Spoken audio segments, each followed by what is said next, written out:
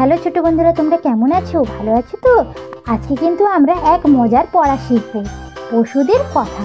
তো চলো আমরা সেই পশুদের কথা পড়া শুরু করি। বন্য পশু কাকে বলে? তো চলো বাচ্চারা, বলো তো, বন্য পশু কাকে বলে? মনে পড়ছে? তো চলো আমার সাথে, কাকে বলে সেটা আমরা জেনে নিই। আমরা বন্য পশু কাকে বলব বলো তো? যেসব পশুরা বনে বাস করে।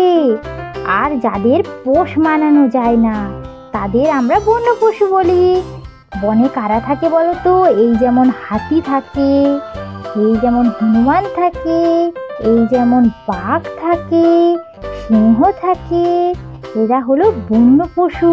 ভাল্লুক থাকে, গন্ডার থাকে, এগুলো সব কোথায় থাকে না বনেতে থাকে? এদেরকে আমরা কি বাড়িতে দেখতে পাই? দেখতে পাই না? এরা বনে বাস করে। তাই আমরা এদের বন্য পশু বলে থাকি। আমাদের দ্বিতীয় প্রশ্নটি হলো, গৃহপালিত পশু কাকে বলে? তাহলে আমরা গৃহপালিত পশু কাদেরকে বলব বলো তো গৃহপালিত পশু কাদের বলে সেটা আমরা জেনে নিই। গৃহপালিত পশু কাদের বলব? যে সকল পশুকে সহজেই পোষ মানানো যায়, তাদের আমরা গৃহপালিত পশু বলে থাকি। সেই সব গৃহপালিত পশুগুলি হলো, এই যে যেমন ঘোড়া, গরু মুরগি, কুকুর, বিড়াল, ছাগল, এগুলো হলো গৃহপালিত পশু। আমাদের পরের প্রশ্নটি হলো, কোন পশু জাবর কাটে? তো কোন পশু জাবর কাটে তোমাদের কি জানা রয়েছে? তো যদি না জানা থাকে, তো চলে এসো আমার সাথে। কোন পশু জাবর কাটে সেটা আমরা জেনে নিই কোন পশুটি জাবর কাটে বলো তো? না, এই গরু জাবর কাটে। কেমন ভাবে কাটে? না, প্রথমের খাবারটিকে কি করে? না, গিলে ফেলে। আর তারপর উগরে সেই খাবারটিকে উগড়ে ফেলে দেয়। খাবারটাকে উগড়ে ফেলে চিবিয়ে চিবিয়ে চিবিয়ে খেতে থাকে। এই গরুই হচ্ছে জাবর কাটতে। এর পরের প্রশ্নটি কি বলো তো এর পরের প্রশ্নটি হলো, মাংসাশী পশু কাদের বলে? তো আমরা জেনে নেব, চলো।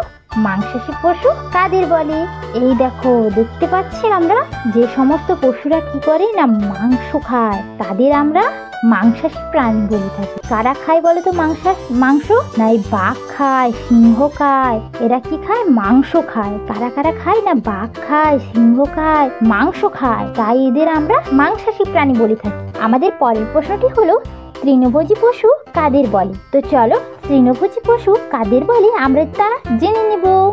এই যে দেখতে পাচ্ছ গরু, একেই আমরা তৃণভোজী পশু বলে থাকি। কেন বলে থাকি? কারণ এই সমস্ত পশুরা কি করে না তৃণ বলতে ঘাস খায়। কেন আমরা বলে থাকি যে এরাই হচ্ছে তৃণভোজী পশু? কারণ এরা ঘাস খায় লতা পাতা খায়। তাই এদের আমরা তৃণভোজী পশু বলে থাকি। যেমন গরু, ছাগল, ঘোড়া এরা ঘাস খায়। তাই আমরা এদের তৃণভোজী পশু বলতে পারি। আমাদের পরের প্রশ্নটি হলো, কয়েকটি বন্য পশুর নাম বলো।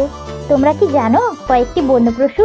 তো বলো তো, দেখি তোমরা কয়টি বন্য পশুর নাম জানো? তো চলো, আমার সাথে, তো চলো, আমার সাথে তোমরা বন্য পশুর নামগুলি বলে ফেলো। আর এই দেখতে পাচ্ছ, এগুলো কি বন্য পশু? এই যে যেমন সিংহ, হরিণ, জিরাফ, পেঁচা, হাতি হাতি, জেব্রা, কুকুর, ছাগল, এগুলো কি? এগুলো হচ্ছে বন্য পশু। এগুলো হলো বন্য পশু। আমাদের পরের প্রশ্নটি হলো, সিংহকে পশুরাজ বলা হয় কেন? এই যে দেখতে পাচ্ছি আমরা একটা ভয়ঙ্কর সিংহ। আর একে আমরা কি বলি? পশুরাজ। কেন আমরা পশুরাজ বলে থাকি গো? কারণ এর কি রয়েছে? না, মস্ত বড় একটি কেশর রয়েছে। রেগে গেলে কেমন কেশর নাড়ে বলো তো? সেই কেশর রয়েছে। আর একে কিন্তু খিদে পেল, না পেলে এ কিন্তু শিকার করে না। আর এ হচ্ছে সমস্ত পশুদের চেয়ে শক্তিশালী তাই আমরা এই সিংহকে পশুরাজ বলে থাকি। তো ছোট্ট বন্ধুরা, আমাদের এই ভিডিওগুলি ভালো লেগে থাকলে ভিডিওগুলিকে অবশ্যই অবশ্যই লাইক করবে এবং আমাদের চ্যানেলে নতুন এই চ্যানেলটিকে অবশ্যই সাবস্ক্রাইব করবে। দেখা হবে আরও নিত্য নতুন মজাদার ভিডিওর সাথে। ততক্ষণ তোমরা সব ভালো থেকো। টাটা!